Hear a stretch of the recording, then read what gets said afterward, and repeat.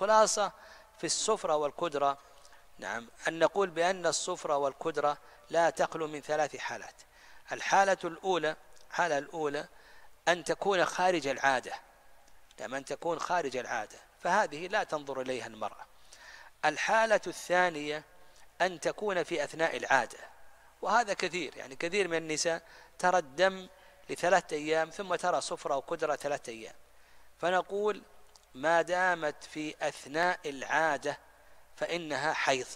يعني ما دامت في أثناء العادة فإنها حيض.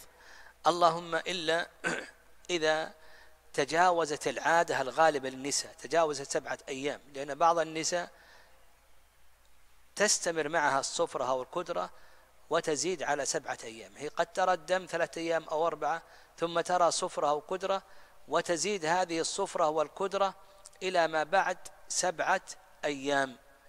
فنقول إذا تمت سبعة أيام فإنها فإنها تغتسل وتصلي. الحالة الثالثة أن أن تكون الصفرة والقدرة قبل نزول الدم. فهذه أيضا لا تنظر إليها المرأة لظاهر حديث أم عطية.